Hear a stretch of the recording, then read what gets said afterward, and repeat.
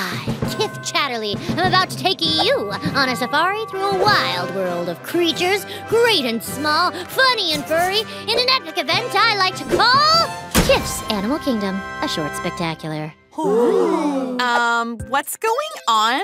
Yes, I'm quite curious too, Kiff. This is my science report. I could give your average just stand and read from a piece of paper talk, or I could harness the power of multimedia. Well, Miss Deer Teacher did forget to leave any plans for the day. Sure, why not? Our first animal is the duck. Ducks enjoy swimming in gold, chasing dimes, and going on unnecessarily dangerous adventures. Let's see them in action.